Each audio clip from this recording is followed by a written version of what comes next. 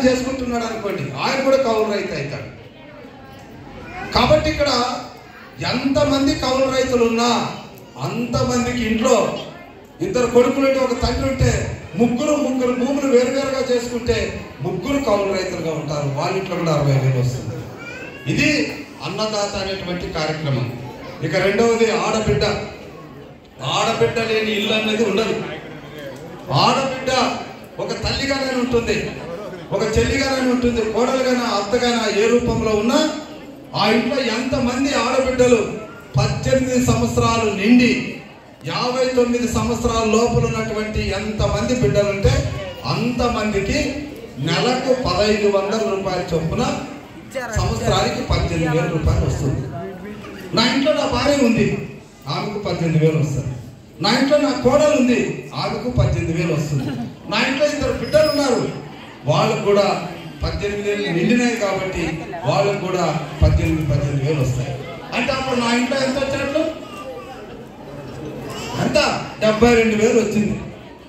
డెబ్బై రెండు వేల రూపాయలు నాకు ఆడబిడ్డ నిధి కింద వస్తుంది. ఒకవేళ నాకు చెల్లెలు ఉంది అనుకోండి ఆమె కూడా పద్దెనిమిది వేలు వస్తుంది. అంటే ఏకంగా ఐదు మందికి తొంభై వేల రూపాయలు వచ్చేటటువంటి పథకమే ఆడబిడ్డ నిధి.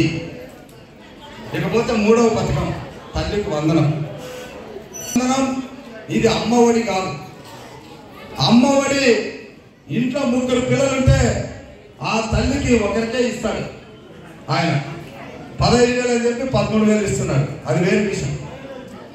కానీ ఇక్కడ చంద్రబాబు ఇచ్చేది పవన్ కళ్యాణ్ గారు ఇచ్చేది రేపు బీజేపీ ప్రభుత్వం కూడా కలిసి సహకరించేది తల్లికి ఎంతమంది బిడ్డలుంటే ఒకటవ క్లాసు నుంచి ఇంటర్మీడియట్ వరకు అంటే పద్దెనిమిది సంవత్సరాలు వచ్చేంత వరకు వాళ్ళు చదువుతూ ఉంటే ప్రతి బిడ్డకు బిడ్డ అంటే ఆడపిల్ల కాదు మగబిడ్డ అయినా ఆడబిడ్డ అయినా వాళ్ళకు ఒక్కొక్కరికి పదహైదు వేల రూపాయల చొప్పున తల్లి అకౌంట్లో పడుతుంది.